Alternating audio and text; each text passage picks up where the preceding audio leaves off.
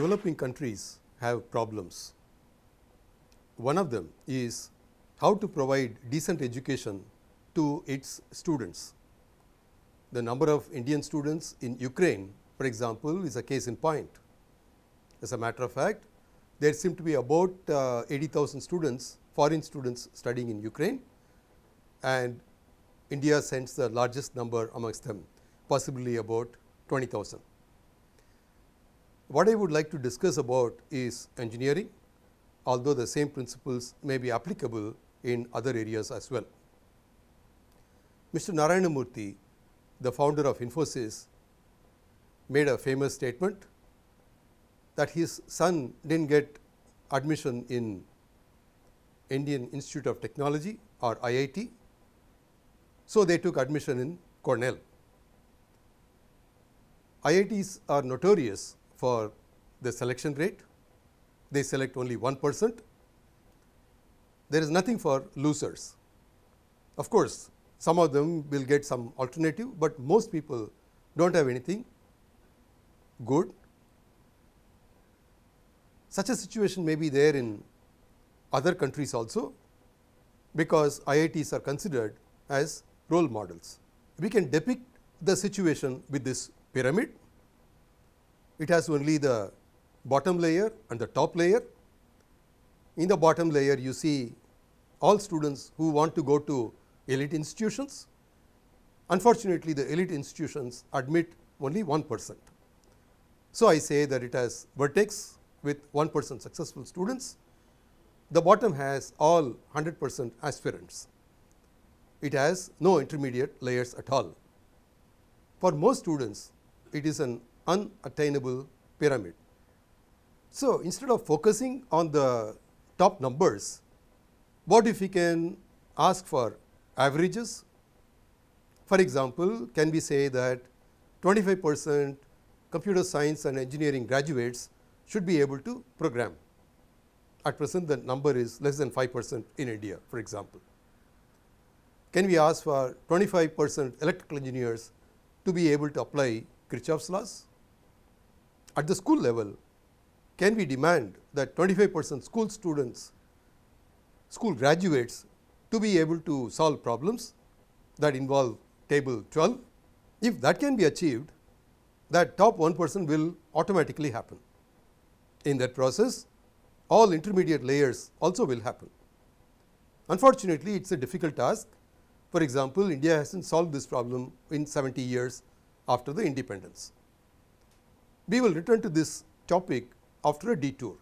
I will explain this with an ambitious project that we have been working on. Can we improve the employment potential through IT training?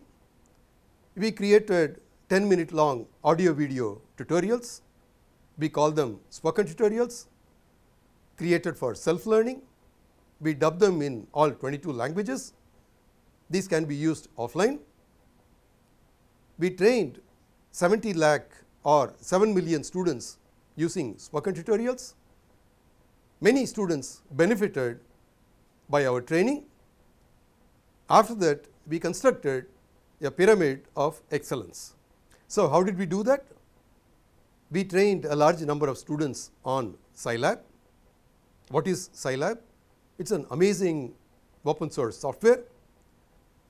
We asked the students who learned Scilab to do something more. In fact, the students wanted us, students asked us. So, I told them take any standard textbook in science and engineering, code the solved problems from that book using Scilab, run the program and check the answers, we should get the same answer as in the book. So, it is a easy task, more than 1000 students coded, we gave them certificates, URL of their code and so on so forth. It helped the students to get jobs, admission in uh, good universities for higher studies. The 100,000 examples that we created are useful to the whole world. These coders form the second layer of the pyramid. It has two layers now. the bottom layer all learners of Scilab, the next layer coders of examples in Scilab. Together they produced 100,000 examples. It is also possible to construct different layers of the pyramid through exams. We compared two approaches for the appointment of short term fellows and interns. The first approach was based on exams. The second was through a two week assignment. In the second approach, lower rank students also got selected. In fact, they even ended up doing better than other students in the fellowship. So, in fact, I would say that high exam marks are not a measure of motivation nor performance. Scilab work that I mentioned was motivation based. Anyone could have tried. Similarly, we constructed higher layers of the pyramid. Here is one such pyramid. We start from the bottom, all learners of Scilab are there. Some of them are coders. Then there were people who got selected as uh, fellows. Some of them developed code. At the next level, they developed toolboxes. Some of them did research projects. Final layer could be major projects or entrepreneurship. In a similar way, we constructed pyramids on different topics. As one moves up the pyramid, tasks become more difficult, but any motivated person can work hard and go up. Students at the top can be placed anywhere. In fact, even those at the second level could be placed. We just saw that in Scilab case. There are no limits on numbers at any level. So, we call them attainable pyramids of excellence. When the students see people at high levels benefiting, they think if only I had put in 10 percent more effort, I too could have gone up and I also could have benefited. So, everybody works hard, the entire pyramid gets lifted. A developing country like India needs tens of thousands of such pyramids. Let us go back to the elite institutions in developing countries that we mentioned at the beginning. In fact, recall the unattainable pyramids of excellence. Only 1 percent get in, nothing for others. Can we create intermediate layers? Of course, people could say, let us look at the problem differently. Why worry only about engineering and medicine? People in other fields are also successful and happy. In fact, some of them are actually doing better. Unfortunately, people do not like the go to other fields idea. They tell me you benefited by the IIT system. Why do you want to prevent me from going to IITs? The next thought process is go to other countries if you do not get selected in elite institutions. In fact, this is already happening. For example, 40 percent of the students who do not get selected into IITs apparently go overseas. The problem with this is what about the balance 60 percent? In any case, both the approaches are running away from the real issue. Unfortunately, admission into elite institutions is a pretty bad problem students take an average of 5 years to prepare for the entrance exams. They also spend lots of money. In this figure, you can see the amount spent by countries on higher education as a percentage of annual income. India is the least prosperous on per capita basis.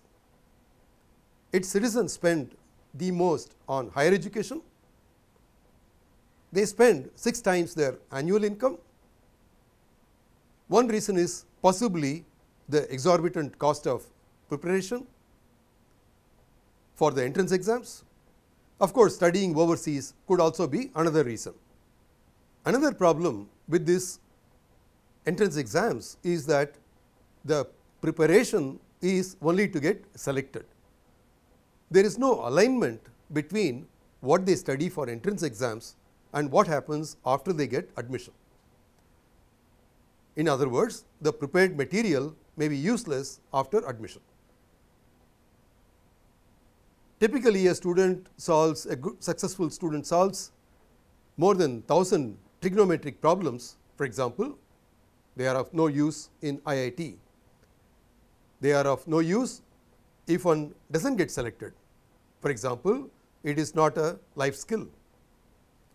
In contrast, let us take a western university like MIT or Stanford. A student may get points for being good in Bharatanatyam, a classical dance form from India. If not selected also, it is useful because it is a life skill. In contrast, solving thousands of convoluted problems is useless. Trigonometry is one example, there could be many others. Unfortunately, case by case admission may be impossible in the developing countries. There may be too many students. For example, in India, 1 million students compete for 10,000 seats. If we do a thought experiment, we can ask, is it possible to align the entrance exam with the academic program that one gets selected for? For example, suppose one wants to be a chemical engineer. Can one study chemical engineering for 2 years in a college? The entrance exam to elite institutions should also be chemical engineering based. If successful, they can join the elite institution, study for 2 more years and get an undergraduate degree. If not, that is if they do not get selected, studies are not wasted, one can be a good chemical engineer and good chemical engineers are in short supply anyway. During the first 2 years of preparation, one can find out if one likes the subject. If instead they would rather be a wildlife photographer, for example, they can skip exams, they do not have to worry about the elite institutions. We can provide level playing field for all who prepare for entrance exams Nowadays, very good video courses are available. For example, the Indian government also has made outstanding video courses called NPTEL. There might be several others as well and all of these are available free of cost. One can dub them into local languages for example and elite institutions can clear doubts free of cost one can use latest educational technology for these purposes. For example, we conducted at IIT Bombay a program called Ask a Question for 10 years, one day a week. Students from anywhere could ask questions. Our faculty members would connect live and answer the questions. We did this for 10 years well before the pandemic started. Such techniques can be used and we can provide a level playing field for all students. Colleges where students prepare for exams also benefit. These colleges may lose let us say 1 to 10 percent to elite institutions, but the same high quality education will be available to all other students good colleges may lose more students, but better brand. For example, if they lose more students, they lose the tuition money, but then their brand may get strengthened and because of that other students in the college may get better jobs. So, let me now explain how the intermediate layers of the pyramid can be formed. It is based on the number of students sent to elite institution. At the bottom of the pyramid you have students who aspire for the elite institutions. At the next level you see colleges that send 0.1 percent of their student population to elite institutions, then 1 percent, then 10 percent. Of course, it is possible to think of different numbers as well and at the top layer you have elite institutions.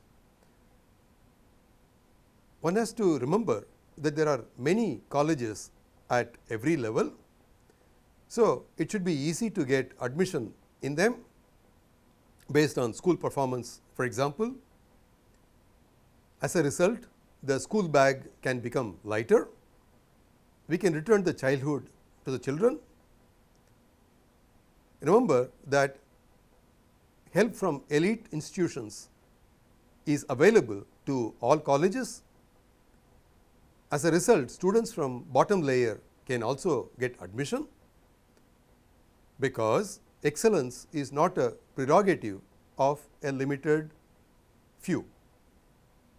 I explained one attainable pyramid of excellence for admission to elite institutions, but there could be other methods as well. Anything is welcome, we need to solve the problem. The problem is that of the unattainable pyramid. That problem has to be tackled. We have to address it soon because a lot of students especially young ones are suffering. Some may even call it the denial of natural justice. So, let us get together and solve this problem. Thank you for listening.